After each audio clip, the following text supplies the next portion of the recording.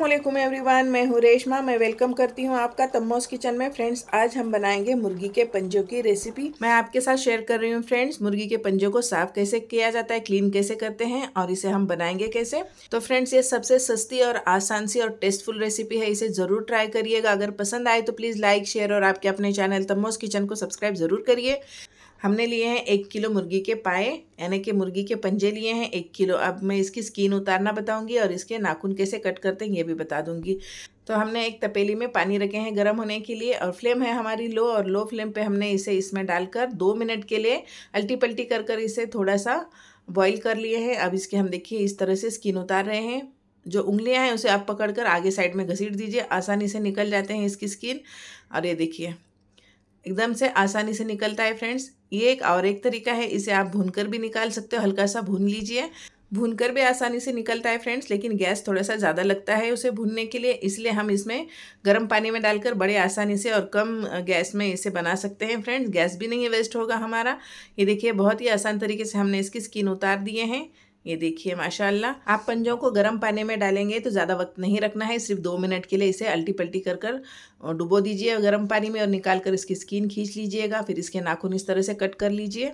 और इसके नाखून भी बड़े आसानी से कट हो जाते हैं फ्रेंड्स, माशाल्लाह। देखिए, हमारा एक पंजा इस तरह से हमने क्लीन कर दिए हैं। सारे पंजे हम इसी तरह से क्लीन करेंगे। अब लेंगे कढ़ाई कढ़ाई में डालेंगे एक चम्मच तेल और चार छोटी साइज़ की प्याज हमने इसमें काट कर डाले हैं, खड़े में स्लाइस में कट की हूँ फ्रेंड्स। इसे अब हम हल्का सा कलर चेंज होने तक के पहले फ्राई कर लेंगे। ये देखिए, अच्छे से माशाल्लाह कलर गोल्डन हो गया है। अब हम इसे निकाल लेते हैं। ज़्यादा डार्क नहीं करना है फ्रेंड्स। इसी तरह से प्याज को फ्राई कर लीजिए और निकाल लीजिएगा। और इसमें हम ज़्यादा तेल नहीं डालेंगे। जो तेल बचा है, उसी में हम ये पंजा ऐड कर देंगे। और लो टू मीडियम फ्लेम पर चम्मच चलाते हुए इसे हम भूनेंगे। ये देखिए, इस तरह से अब इसमें हम डालेंगे दो, बड़ी इलायची थोड़ा सा तोड़कर डाल दीजिए, बड़ी इलायची को थोड़ा आप खोल दीजिए और फिर डाल दीजिए, इससे अच्छा फ्लेवर आएगा और स्मेल फ्री बनेंगे ये पंजे। पंजों की स्मेल भी नहीं आएगी फ्रेंड्स, इस तरह से अगर आप बनाओगे तो। अब इसमें हमने दो बड़ी इलायची डालकर इसे फिर से भून लिए तीन मिनट के लिए, फिर इसमें अदरक लहसन का पेस्ट डाल दिए हैं, वन टेबल स्पून अच्छे तरीके से अदरक लहसन डालकर पंजों में मिक्स कर लेंगे और इसे लो टू मीडियम फ्लेम पे ही चम्मच चलाते हुए भुनेंगे फ्रेंड्स।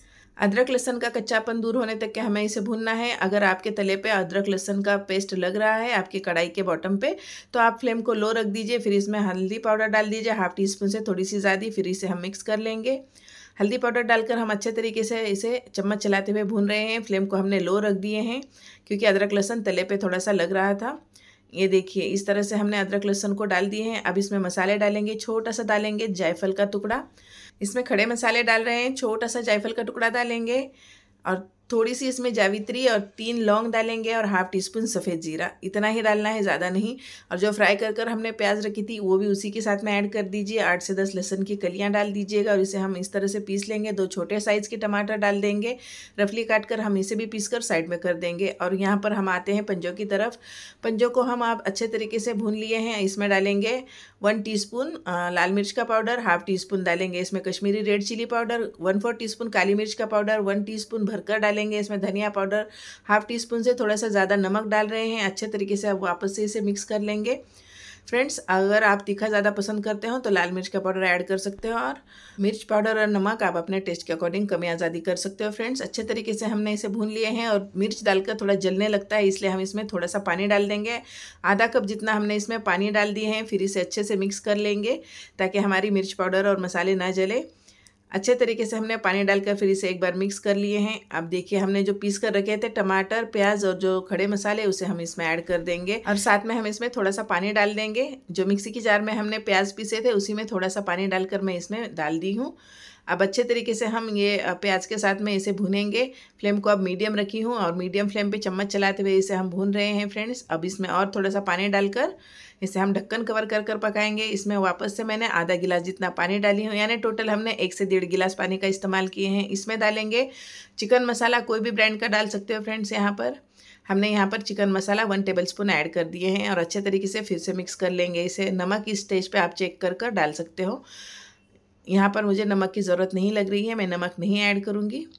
अब इसके ऊपर ढक्कन कवर कर कर धीमी आँच पे हम इसे पकाएँगे 10 से 12 मिनट के लिए। एकदम लो फ्लेम पे रख दीजिएगा। और देखिए 10 मिनट हो चुके हैं, हमने ढक्कन हटा दिए हैं।